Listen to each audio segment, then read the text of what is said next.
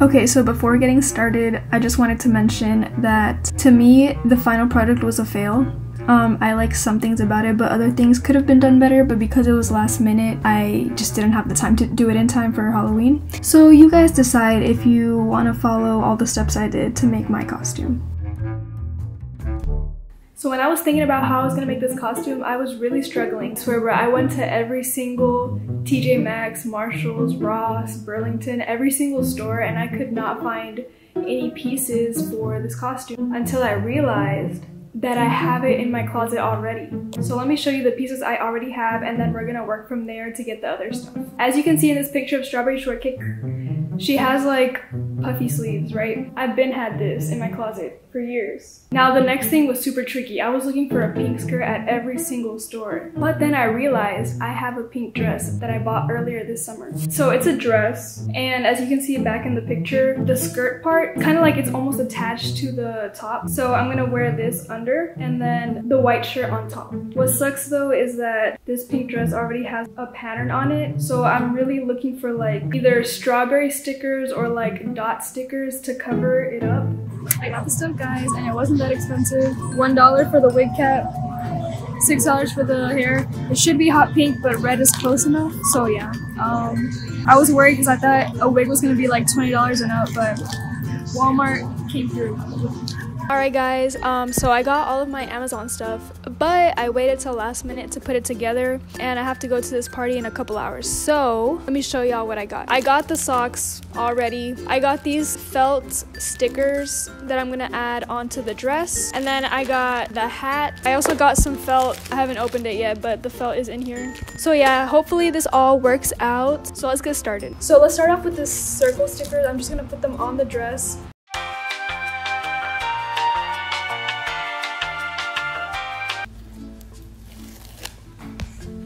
Okay, I got a few left, but I don't think I'm gonna use them all. This is what it looks like now. Polka dots on the front, polka dots on the back. Okay guys, next thing we're gonna work on is the hat. Okay, it's pretty big. This part, the shady part, it's green and then it has like the strawberry green leaf right here. And then it has the little seeds that are a darker shade of like pink. And sorry for the vacuum noise, my dad is working outside in the yard. I have the green and it's sticky.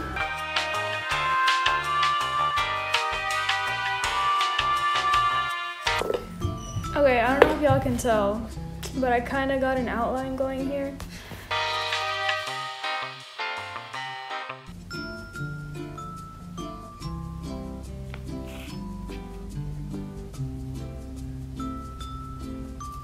Okay, so that's part one, and then I'm gonna add the little triangles here.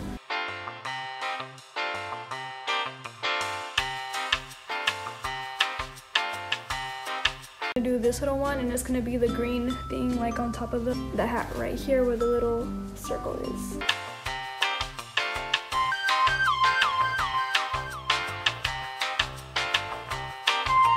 Okay, so it's gonna go right here. Okay, I don't know how I feel about this one, but I'm gonna just go ahead and do like the seeds and I'll worry about this one later. Ah, I could just use these. Oh my gosh, good thing I did not use up all of them since it's already circular, I'm just gonna like cut straight around the circle and it should give you like that kind of seedish shape. I, I cut the first seed.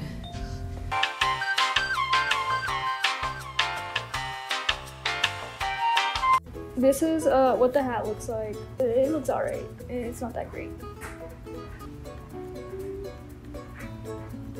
It's cute, it's cute. But yeah, it, it looks a little rough. Still wondering what I should do with the little leaf at the top. I will work that out once I do something with my shoes. Um, remember I'm gonna use these Toms. And her shoes are like, to me, I don't know what they're called, but they remind me of like schoolgirl clothes. I mean, schoolgirl shoes. They look like flats, but then they have the strap in the middle. So I'm gonna make it look like it has a strap by using this white felt and cutting like um, a semicircle kinda and putting it right here.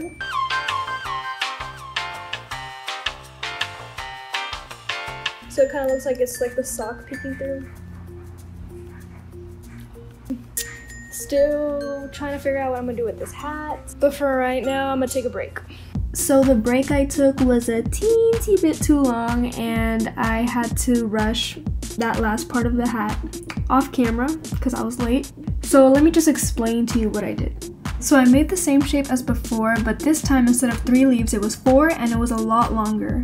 In order to have the leaves standing up, you need to trace the shape you just made again and then place that on the sticky side of your first shape. Also, make sure that instead of covering all of the sticky side, that you stick the bottom part of it to the actual hat itself. Overall, I'm gonna rate this DIY costume a 6 out of 10 just because there was a lot of things I don't like about it.